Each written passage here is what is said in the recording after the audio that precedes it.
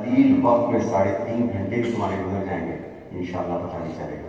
लेकिन एन नमाज़ का अजान का जो वक्त होगा, उससे दो चार मिनट पहले तक जिम्मत दूँगा, इंशाल्लाह। बेटे ने कहा, मेरे साथ, सल्ले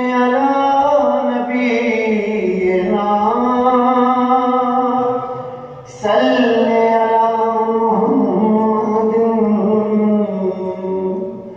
सल्ले अला मोहम्मदिन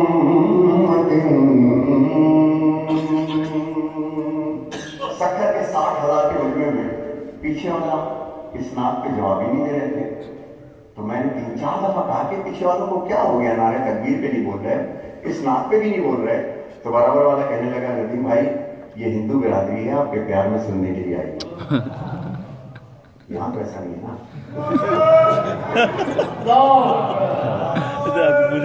हाँ, बोलते हैं ना।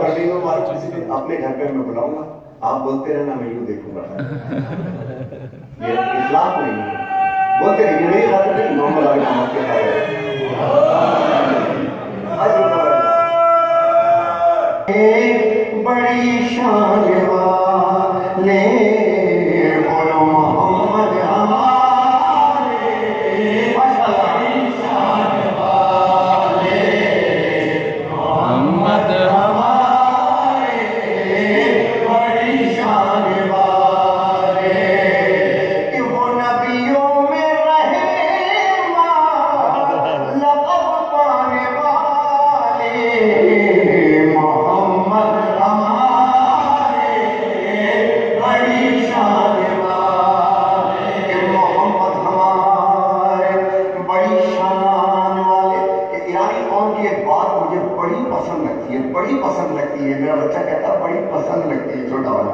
मैं कहता हूँ पसंद आती है क्या? पचानवे बरस का बूढ़ा चलाना जा रहा हो हिलाना जा रहा हो या चार बरस का जवान हो चार बरस का बच्चा हो जब नौहान पड़ता है या जख्मी हो सबके लब हिल रहे होते हैं। तो बुज़ुर्ग से मैंने पूछा क्यों? कहने उसके लिए नहीं। पता नहीं साहिब असर हमारे जिनके भी होठों को तो हमारी नस्लें बाबरात हो जाए। ये मत सोचो कि हमें दामाद देकर आए बेटा देकर आए। साहिब असर का ज़रूर हो जाए तो फिर रिश्ते याद नहीं रह जाते। तो प्रैक्टिस करो मेरे साथ, मोहम्मद हमारे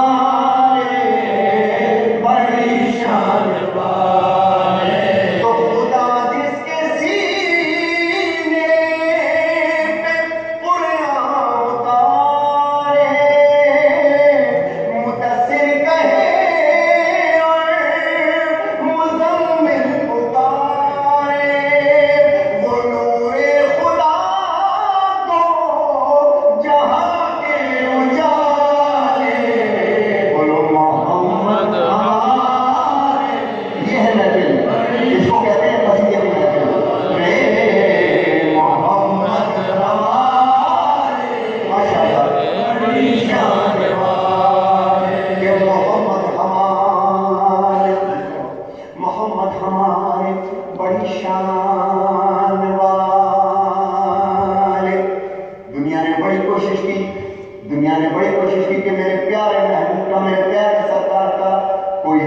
तोहिन की जाए, कोई तोहिन की जाए, बड़ी कोशिशें की। मगर देखना, ये शेर सुनने का ज़्यादा है, देखने का ज़्यादा है, सुनने का मतलब तो मैं एक तरफ़ देखने का। मैं सरकार का तारुफ कर रहा हूँ कि बदलो जी